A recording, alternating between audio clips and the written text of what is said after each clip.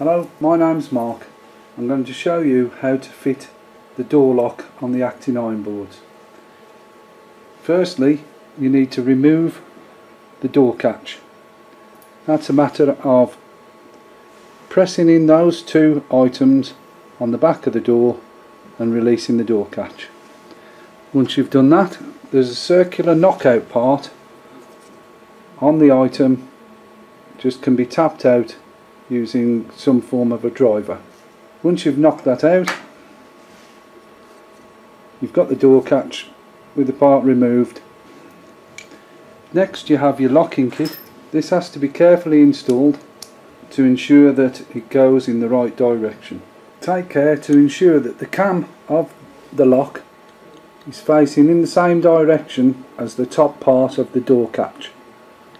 So the part that you use to remove the door catch, the cam needs to be at the same part at the top. You can then add the hexagonal nut to tighten the lock into place. That's put over the cam and then tightened up using a suitable spanner. Once you've tightened the retaining nut back in, put the door lock attachment back into the cover just simply press it in and then it can be closed once everything is in place. As it is locked to unlock it rotate it 90 degrees push the door catch up and it opens. Thanks for listening